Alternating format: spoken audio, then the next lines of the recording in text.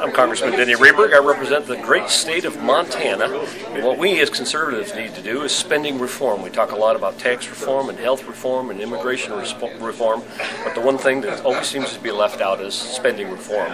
And so, as conservatives, we can begin by supporting the moratorium on earmarks. Uh, then we need to move to zero based budgeting. More- importantly, as conservatives, we need to get together and balance the federal budget with a constitutional amendment. If anything, let's put the uh, rally signs down and actually pick up the petitions and get around and get that on the uh, Constitution.